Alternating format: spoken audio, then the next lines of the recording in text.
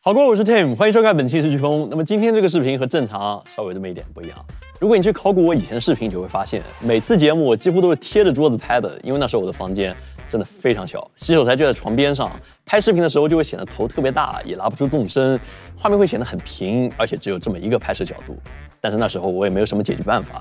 其实置景这个问题，直到今天也一直在困扰着我们。往往一个场景会占用几十平米的空间，光是租金就了不得。啊，所以是最近我们有了自己的美术团队，坚果投影又和我们一拍即合，给了我们很多支持，我们才想着试试来挑战这个问题。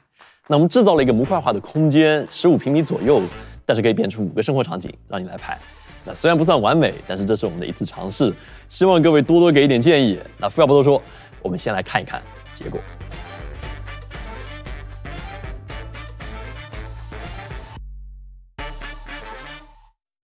这个房子走进去，你会看到的第一个房间就是这个客厅啊。其实这也是最后一个房间。你以为我是小孩大叔吗？有这么多房间，呃，客厅空间我们尽可能利用了。右侧柜子有六个展示空间，可以很自由的调整摆件来进行背景的装饰还有调整。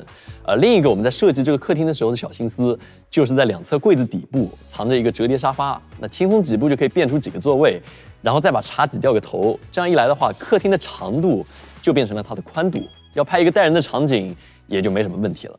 那当然，既然要拍摄，布光肯定也少不了。所以你仔细一看，就会发现这个房子其实可以把墙给拆了啊，这样你布光就会变得非常方便。外面挂一个蝴蝶布，或是来一个假窗，再来一个点光源，无论你想是要太阳光还是要一个月光，都可以轻松的实现。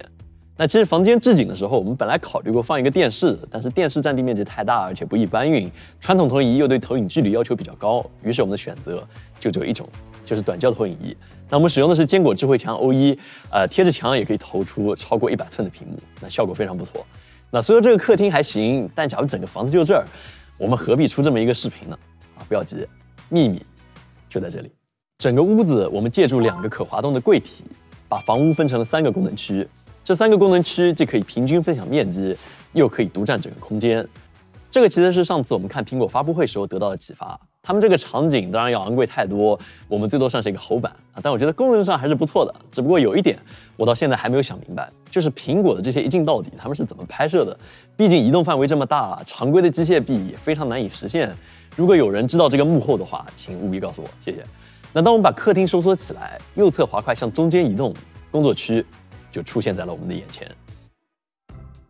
那虽然房屋的宽度有限，但是我们依旧选择了一点六米长的办公桌。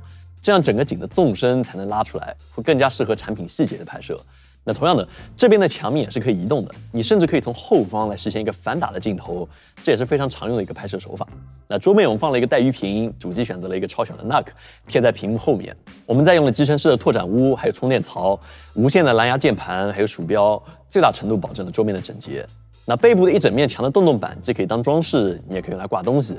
就是一个场景的核心还是在细节上面，哪怕你的背景虚化了，它也会影响到你整一个场景的调调啊。所以说我捐出了我自己很多珍藏的手办还有模型，才让这个空间会更有生活气了一些。为了最大程度榨干场景的价值，我们把身后的墙做成了四个大衣柜啊，这样又多了一个可以拍的地方，而且优点就是你可以随便推动这个柜子来调整整个场景的纵深。那右侧的柜子是办公场景。左侧的模块朝中间移动之后呢，你就可以变出一个厨房和餐厅的场景。那除了常规的厨房配置以外，餐桌被我们藏在了右侧的柜子里面。那你只要轻轻一拉，就可以获得一个双人餐桌。那假如你把滑柜一和二全部移到最右侧，你又可以变出一个更大的餐桌，最多可以坐六个人。那可能实际使用不会这么舒服，但是拍拍视频、取几个景还是绰绰有余的。然后你再把投影仪给移过来，投一个节目，整个场景也就变得非常完整了。那其实我看到餐厅的时候，已经觉得我们美术非常厉害了。但是让我觉得我最惊呆的一点，就是它居然还设计了一个床。当你把模块一移到左侧的时候，床就藏在餐厅的背部。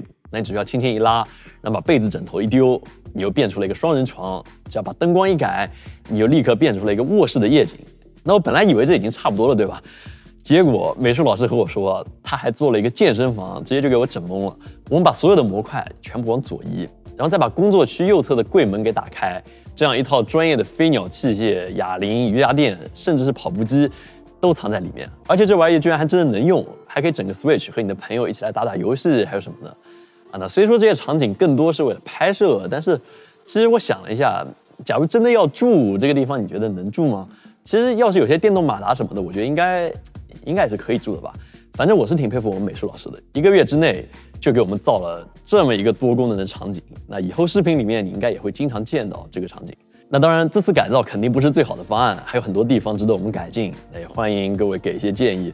如果你的房间设计的很有意思，请务必艾特我们展示一下，啊，这会对我们有很大的启发。我个人也感兴趣。那同时感谢坚果投影这样的科技企业，一直在通过他们的方式创造出有温度的产品，努力给我们带来更好的生活，还有更多的光。如果各位喜欢这期节目的话，请务必点赞、投币、转发三连，这会对我们有非常大的帮助。那么我们下次再见。